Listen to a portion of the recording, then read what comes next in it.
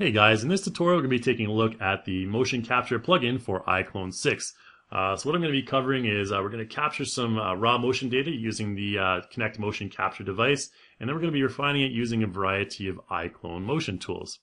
Now to find your device mocap plugin, uh, what you want to do is go into your Windows menu and under Reallusion, you should be able to find the mocap device plugin and just select that and it'll load up in iClone. And the first thing you want to do is just select connect.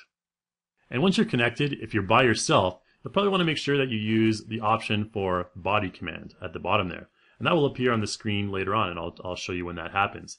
Um, so after you're done that, you can just go ahead and double click on your uh, plugin window, and that'll make sure it's above, always on the top layer of all of your windows. So then go into your device console here on the right and connect.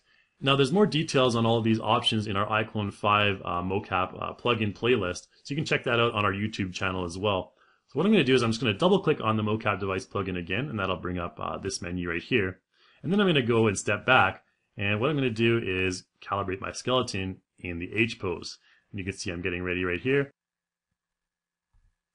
And once you're all calibrated, all you need to do is reach your hand over to the preview side. This is the uh, body command, on-screen body command, and you can preview. And you can see my character is floating on the screen, but then you can use the height slider on the right hand side there to adjust your character's height. And you can see that now I can move around, do a jig, and I have the floor contact on my character. So once you're done previewing, just put your arms in the position of the of the cancel icons on the screen, and you'll uh, go back into your original pose. And then from this point on, all I need to do is put my hand over the record uh, option on the side there, again with the body command, and my character will go into the pose. Now I'm just going to go ahead and do my motion, a couple of takes of my motion, which is receiving a basketball and then taking the shot. And you can see I'm just going to do this repeatedly uh, for different takes. Now it's always a good idea to do this because um, it's very rare that you'll get the uh, the solution that you want on the very first take. Uh, we're going to show you how to do motion key editing later on, but the better the take you get, the less editing you have to do later on. So it's always good to do you know a few takes of each motion. So here I'm doing about uh, eight or ten or something like that. And then once you've done that, you can go into iClone. You can close everything down and go back into iClone. All right, so once you have all of your uh, raw capture data, you can see I've changed the scenario slightly here. Once you have all that raw capture data, what I recommend doing first is saving it. If I press F3 and go into my timeline here, with my character selected, you can see that I have this entire uh, motion track dedicated to this device puppet clip because because we pretty much recorded for the entire project, all uh, 1800 frames. So what we're going to do is we're going to save all this data here uh, in case we need it in the future if we want to make, you know, use a different take or make different edits or something like that. It's always best to do that. So let's just go ahead, close down the timeline, and let's go to our motion tab up here. And you can just go to your custom tab and in motion, in the motion folder, just go ahead and press the plus key, and then we'll save this as a motion. So we can call this, uh, you know, raw b-ball motion. You can see the dummy on the icon there is kind of tilted to the side, which is the, the uh, stance we're at right now. So after we're done uh, saving that raw motion, let's get around to editing it. So I'm going to press F3 and go into the timeline one more time here. I'm just going to go ahead and press the space key uh, to play back. And you can see we go, we're going through uh, all of our different takes here. We've got a little bit of uh, wrist uh, action going on there. I want to take the easiest one because we're not going to spend too much time on editing, hopefully, in this tutorial. I think uh, that one is uh, pretty good right there. So I think we started from about here, uh, frame 660. You want to get a fairly neutral pose to start off with. I think the 659 should be okay. So I'm just going to go ahead and right click on my clip right there and break it. And I'm going to take the first part of the clip and just delete that and move the second part over to the very beginning. Now, if you want to get into more detail on, uh, you know, editing all of your uh, raw motion capture data, we actually have a tutorial series on that that was in iClone 5, but all the techniques are pretty much the same. So if you still have questions after this tutorial, I'd recommend checking that out. So let's go ahead and play this back from the beginning. So we receive the ball, take the shot, and land. And then from about here, I think when we're back in our neutral pose, we can just right click again, uh, maybe a little bit earlier than that. I think that's fine right there. Right click and select break and then I'll delete the third part of the clip right there. So now all we're left with is this one single motion that we're going to refine using our motion layer editor tool. And I have my motion layer track already open down here. If you can't find that, just go to your character's track and you can see the motion layer track right here. Now, under the motion layer track, there's all the different body parts like the torso, arms and legs, and fingers and everything like that. We're just going to worry about the main level, the top level uh, keyframes right here. So I'm going to hold the Alt key and uh, zoom into our timeline here so we can get a little bit of a better perspective. Let's go back to uh, frame one here. And what I'm going to do now is go over to our motion tab and we're going to go to edit motion layer tool. And here you can see we have our character. If your bones are not this small, you can just go up to the settings and select the bone size as one. I prefer to do this normally when we're doing motion key editing, uh, just because you can see more of the body. So let's go back to frame one. Let's take, take a look at our character's initial pose. From the side, it looks like it's uh, pretty decent right there. I think he's uh, in a pretty decent pose. If we want, we can take his hip bone, just select his hip bone right there, and we can, uh, you know, move that down so you can crouch like that. Um, if we take off the locks on his feet, you can see the TR stands for transform and rotation. Those are currently locked on his feet. If we take those off and we rotate his hip bone right here, you can see that our entire character will rotate, just like we're in like the movie Gravity or something like that. Um, so we don't want that for this tutorial, but just press Control Z and undo that. Uh, if we have those locks on, uh, we just press the lock buttons again to put them on, you can see he'll now do some kind of uh, funky looking uh, hip thrust right there. Uh, we probably don't want that either for this tutorial, so just press Control Z. I just wanted to kind of show you the differences uh, that the footlock make when you're in the Edit Motion Layer tool. So keep that in mind. So I think, again, we can just, you know, take him down a little bit, uh, something like that, where he's kind of prepared for the pass. And then let's go from there. So our first keyframe edit we're going to make, let's go ahead and um, scrub through a little bit. So maybe about here when he lands his foot. We're going to make our edit right here. So all I need to do now, I can just go ahead and press the reset button in our edit motion layer tool, or I can double click in the motion layer track. Uh, both of those are going to edit a key add a keyframe. So from here, let's take a look at this motion. I think our character kind of needs to be looking to the side when he's receiving this ball. I also kind of think uh, I want him to be a little bit uh, closer to the ground. So let's take his hip first there, and let's uh, move him down a little bit. Uh, so it looks like he's more, um, you know, tense to receive the ball there. And I think his chest needs to be rotated as well. So let's take his chest, use the E hotkey for rotation, and move it over so he's more uh, looking towards the ball that he's accepting. We can take his uh, right forearm here and, uh, you know, move that over a little bit like that, and take his wrist. I think something like that would be okay. Looks okay from this angle. And then we can take maybe his left forearm or left upper arm right there and uh, move that forward as well. I think a position like that would be okay. And again, his wrist also needs to be uh, open to receive the pass. So that looks uh, pretty decent. Uh, maybe his head can be rotated a little bit further down so it seems like he's looking more at the ball. So then we have something like this if we scrub from point 1 to point B, where he's looking at the ball. Maybe even over here he can be, uh, you know, looking at uh, another player at frame 1 and receiving the ball right there.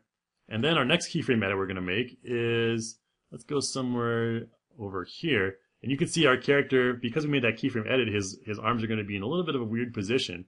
So what we can do is when he's about to jump right here, when it's both his feet are planted, so about right here, before he starts moving his uh, arms up, think about here, what I can do is I'm going to just go ahead and press reset. And that's going to reset it back to the original position um, that we had in our clip. So when you, when you press the reset key, it adds a keyframe, and it also resets all of your motion key data to that from that was originally in the clip. So it pretty much erases everything, but it adds a keyframe.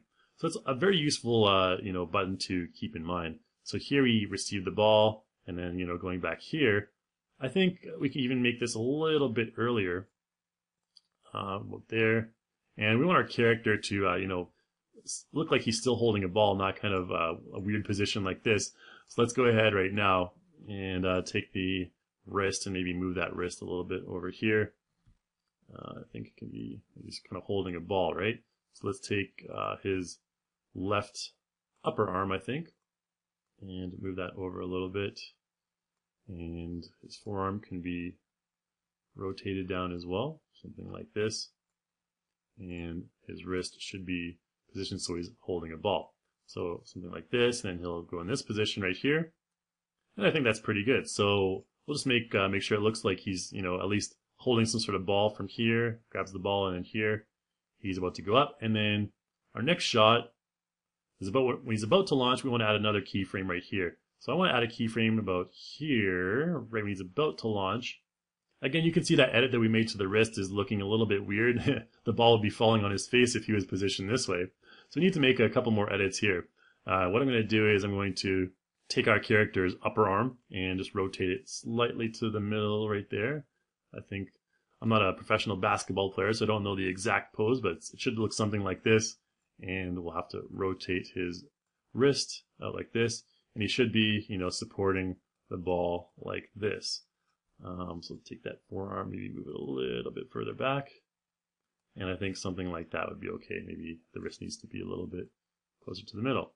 So that looks pretty decent. We can even maybe take the um, upper arm there and raise it up a little bit. And his supporting arm can be raised a little bit as well. So take the left arm and something like that. You can move the wrist back. There you go. That should be okay. So I think from here, he'll be taking up the ball up like that. And then he's about to shoot it. And then the next edit that we want to make is when he's at the peak of his jump. So you're out there, you can see up, up, up, down, up, down. So this frame right here is at the peak of his jump. So he looks a little bit strange right here, but we're going to uh, edit that as well. So the first thing we want to do is we want to take his ankles and we want to rotate those outwards because right now it looks like he's kind of just like, you know, floating, jumping flat footed or something. So let's take his ankles and rotate them downwards like that. And so that makes it look like he's actually kind of jumping right there. That looks a lot better. And now we need to fix his uh, arm. So Actually, this is the shot where he's supposed to be actually shooting the ball because this is at the peak of his jump right here. So I think if we press reset on this uh, keyframe right here, we should have something a little bit similar. Okay, so reset looks a little bit better. Let's take those ankles back down again. Um, do, do, do, do, just like that. So he's still he's still jumping. Let's go ahead and now we can take his uh, forearm and uh, the wrist should be kind of like it's flicking forward after shooting the ball. Uh, again, from the front, it looks like he's shooting it off to somewhere else But let's take this, uh, you keep everything a little bit, uh, centered. I think, um, that looks pretty okay as far as, as far as the basketball shot goes. Something like that. And I think his supporting arm is, is fine. What we can do is we can also maybe, uh, you know, rotate his entire body a little bit backwards as well, um, by taking off those leg locks, selecting his hip, and then we can, you know, move his, uh, entire torso back like that. So it looks like maybe he's you know, leaning back as he's shooting a little bit. So we'll have something like this and then shooting. And then when he lands, obviously we don't want him to land like this. Nobody really lands like that. So as soon as his heels are planted right there, what we want to do is we want to go ahead and press reset again. And I think that's fine. So his just lands like that and get back, gets back up like that. Cool. So I think that uh, is pretty much it for our edits. Let's go ahead. We made uh, you know five keyframe edits. And again, when you're doing these uh, motion layer editing with the keyframes, try and keep it simple. Don't make too many. Um, unless you have all the time in the world to go into a lot of detail, um, I'd recommend keeping it simple, especially when you're uh, refining your motion captures. So let's go ahead and play this back from the side. So receive the ball, takes the shot, looks pretty good from the side. Let's go from the front and try the same thing. So I'm going to go back to frame one again, receives the ball, takes the shot, and we look pretty good right there as well. So after he makes that shot, what we want to do is have him have a little bit of a celebration.